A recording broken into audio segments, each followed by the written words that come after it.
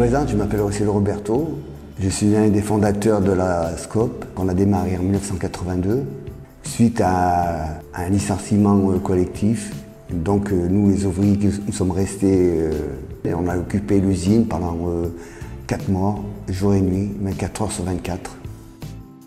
Les anciens gérants, ben, on s'est séparés d'eux, on s'est mis en ligne, on est monté avec la CGT qui nous ont donné un coup de main à l'époque. Ils sont venus avec nous, ils sont montés dans les bureaux. Le monsieur de la CGT leur a demandé au patron de quitter la boîte. Nous, on s'était fait en file indienne, on s'était mis devant la porte et tout. Et lui, il est parti et nous, on a pris la relève. Et nous, on avait peur que les gendarmes viennent et tout. Non, non, on a, eu de la chance. On a eu tous les, outils qui sont restés, le terrain, on a eu au frein symbolique. Quoi. On a tenu, tout le monde nous disait qu'on allait durer six mois. Et en fin de compte, ça fait 40 ans, j'espère qu'on continuera encore, encore 40 ans. Pour les gens qui viendront derrière nous, la suite.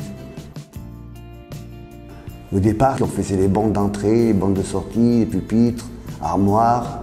Maintenant, on fait des, poils à granules, on fait de la tôlerie, on travaille l'inox, on travaille l'alu, on travaille la EZ, la galva, tout, toutes sortes de matières. Nous sommes 35 associés.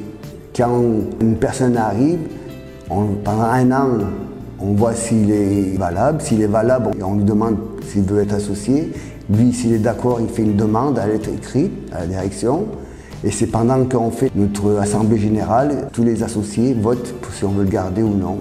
Donc après, il met des parts, lui aussi, sur le capital, parce qu'on a un capital variable. Tous les associés qui s'en vont, ils reprennent leur part. On ne peut pas les revendre. Euh, s'il y a bénéfice, on partage. S'il n'y a pas bénéfice, ben, on n'a rien. c'est tout simplement. Les gens euh, se sentent plus investis. En général, tout, ça se passe bien. Tout. De toute façon, s'il y a un petit problème, on voit avec la direction. La direction règle le problème. On est ouvrier avant tout d'être associé, donc ça se passe bien.